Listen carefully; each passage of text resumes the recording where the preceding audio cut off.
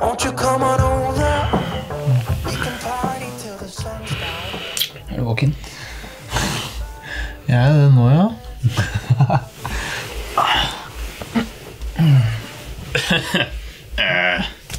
Nei. Jo, nei.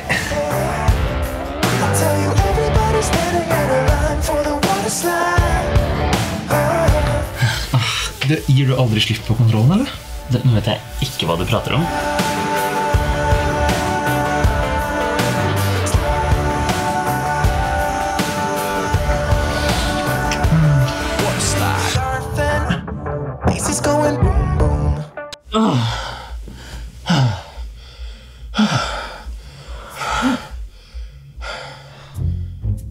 Du minner, det er, du minner om at det er vel litt spesielt?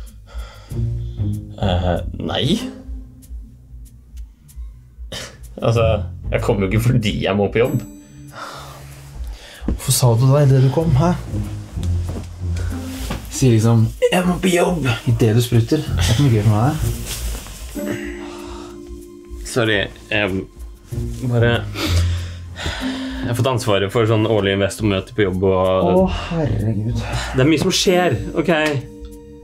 Unnskyld. Det var ikke Det skjønner jeg er jævlig tør nå. Er du klar for runde til, eller? Statistikk, analyse dust. Foreldra dine eier firmaet du jobber for. Kan ikke de bare gi deg penger til å kjøpe lokale til utested? Altså, det er jo ikke så enkelt. Det er jo det. Nei, fordi først må vi sleike ræva på disse investorene. Det er derfor det møtet må gå bra. Og så, når de har godkjent de lokalene jeg har valgt ut, da kan vi gjøre oppkjøp. Og jeg får full kontroll. Og det er akkurat det du liker, ikke sant? Hæ? Ser ut som hun koser deg på USA-turné. Hun der, vet dere for noe? Iris? Iris, ja. Ja. ja. Hva med hun andre? Hun der, hva skjedde med hun andre? Hun blonde. Hun Dina? Eh, du eh, Jeg er ikke helt komfortabel med det. Hæ? Ikke på Grønland, altså. altså men se lyst på det. For en måned siden så hadde jo ikke jeg satt min fot her engang. Så eh, Nå begynner Grønland å minne deg om en person du liker ganske godt, eller? altså Stedet har jo sin sjarm, da. Det har du òg. Vet du hva? Jeg tror det er alt det er med utestedet deres. Det kommer til å ordne seg helt fint.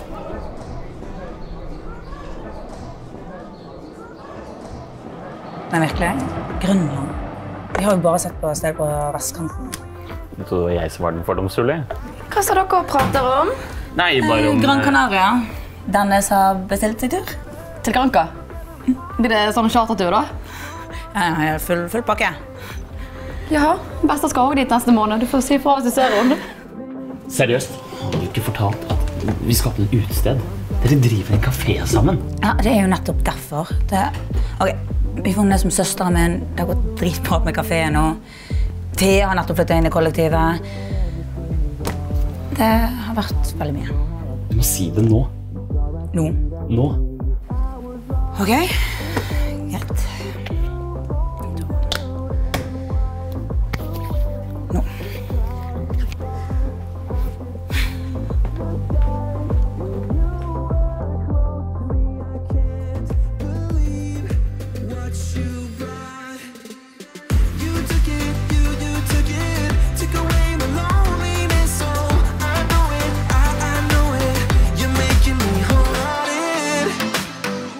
Og så bare satte du deg opp på sykkelen og, og sykla hjem igjen? altså? Ja. Stakkars deg. Hvordan- Men hvordan gikk det? Har de fikset og ordnet at det går bra med deg? Ja, det tar tid, bare. Hva er det som skjer her? Hei. Det er Jørgen. ja, du skal samarbeide med han på den investorpresentasjonen. Jørgen, Dennis? foreldra dine har catcha meg opp på alt, så det, dette har vi, altså. Jeg trodde jeg skulle ta den presentasjonen. Altså, Dere hadde jo en hel greie om at jeg er framtiden til firmaet. Ja, men du er jo det. Du og Jørgen. Jørgen her, han er eh, nyutdannet fra Stanford. Så hvis du følger litt med på han, så kan du sikkert lære noen triks eller to. Ja, De gutta der er ikke helt sånn der eh, Følger ikke regelboka, for å si det sånn. Det her er jo helt tåpelig. Han har jo null Dennis, innsikt. investorene det de trenger nå, at de trenger en full rapport om budsjettet og utgiftene fra 2020-2019. Og det trenger jeg at dere gjør før dere begynner å utarbeide presentasjon. Jeg tar det. Jeg har det klart en time etter lunsj. 11.30.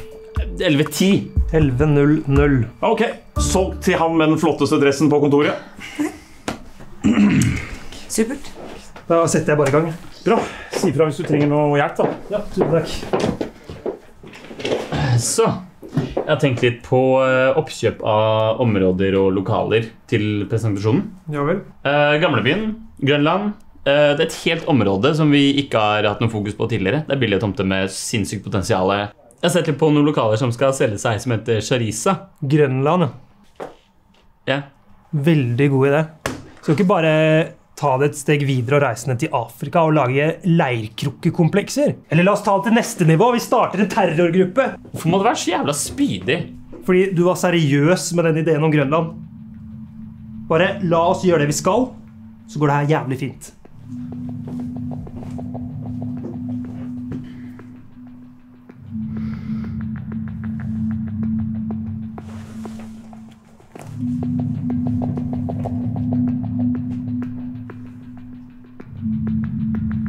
Hallo? Jeg kommet til uh, Sharisa?